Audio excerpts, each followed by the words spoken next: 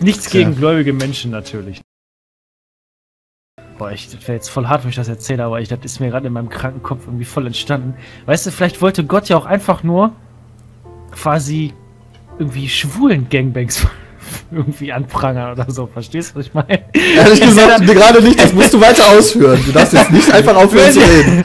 Wenn der da, vielleicht, der hat sich einfach gedacht, weißt du was?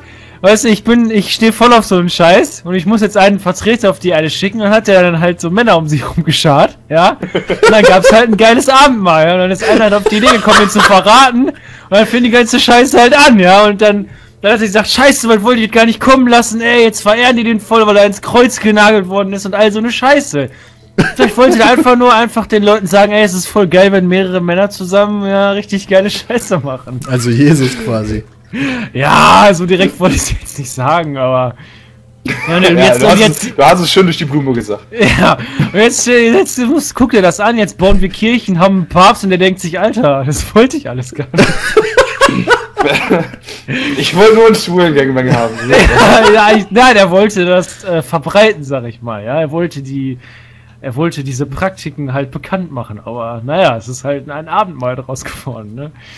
Ey, das passt eigentlich voll. So wie du das erzählt hast, äh, es gibt bestimmt auch ein Bild von zwei Stunden später nach dem Abendmahl. Das wird aber von der Kirche im Vatikan unter Verschluss gehalten. Deswegen können die die schwulen Ehe ja auch nicht ausstehen. Weißt du, das passt alles zusammen. Die wollen alles, die versuchen alles, um das zu verhindern, ja, um das zu vertuschen. Dass es in Wirklichkeit so ist. So sieht's aus. Und Gott lacht sich richtig krass einen ab, während er eine schöne Pottpfeife raucht.